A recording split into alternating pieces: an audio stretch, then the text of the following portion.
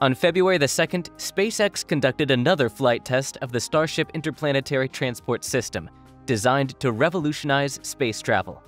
During a test jump of 32,808 feet, the SN9 prototype successfully launched, reached the specific altitude, and carried out a controlled fall.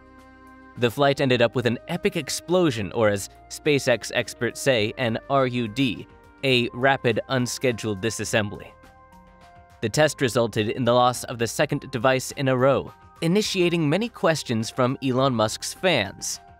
This is the Innovative Techs channel, and right now, we will explain to you how the prototype of Elon Musk's Starship SN9 spacecraft exploded on landing.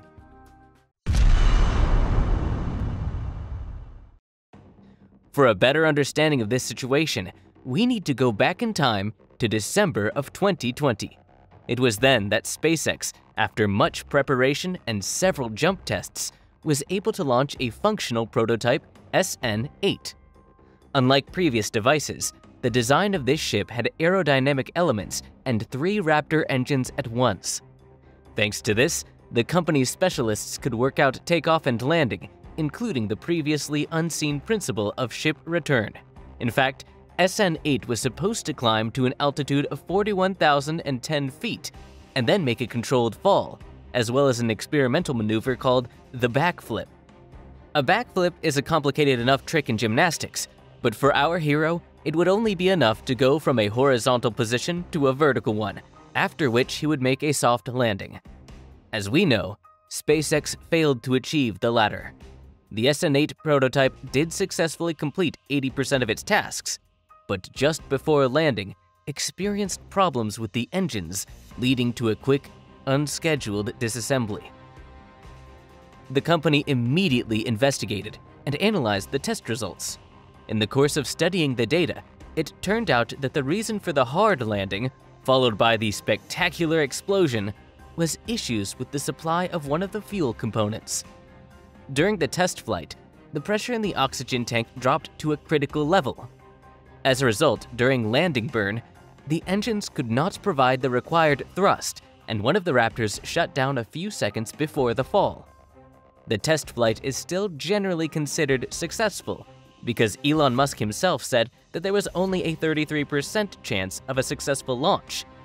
Nevertheless, everyone hoped that SN9 would perfect the landing, and for the first time in history, make a successful backflip maneuver prior to landing. The life of the SN9 prototype was a rocky one from the start. A few days after the SN8 tests, one of the supports of the apparatus broke, causing the entire structure to lean on the hangar wall where the Starship was being assembled. However, SpaceX was not taken aback. With the help of a giant Tankzilla crane, they lifted the prototype and replaced the damaged flaps. After the recovery, SN9 was rolled out to the launch pad with the aim of quickly launching it into the sky. But even then, there were some issues. During several static burns, two of the Raptor's three engines were damaged and replaced with new ones. This in turn caused discontent within the United States Federal Aviation Administration, the FAA, and a long delay in the issuance of a flight license. In addition, officials said SpaceX had violated license terms during the SN8 launch. The details of these violations were not clearly described. These bureaucratic procedures and delays angered Elon Musk, who was trying to personally obtain permission for a test flight. The SpaceX owner expressed his outrage on Twitter, criticizing the agency. As the situation progressed, this confrontation would continue to develop into a serious battle between the state regulator and the famous tech mogul. The weather, which for several days delayed the launch of Starship, was an unrelenting fly in the ointment. A strong wind over the Boca Chica spaceport was constantly postponing test flights. Only by February the 2nd were all the problems with the FAA settled and the weather clear enough for a launch. It was on this day that SN9 took off for the sky. After examining the hard landing of the previous prototype, SpaceX made design changes to their ship Special blowers were installed to maintain the required pressure at the time of engine startup before landing. the specialists hoped it would be possible to avoid an emergency situation similar to the Raptor shutdown. Interestingly, the extended preparation for the launch of SN9 offered SpaceX fans an incredible sight. Two Starship prototypes were installed at once on the launch pads. Without waiting for permission from the FAA to take off, on January 22nd, the company rolled out a device with serial number 10 to the launch pad. Finally, on February 2, 2021, SpaceX received all the necessary permits and the weather was favorable for a launch. At 2.25 p.m. in Texas, Central Standard Time, the flight prototype SN9 started three Raptor engines and took off. The tests were carried out according to a similar scheme to the SN8 jump and were partially successful.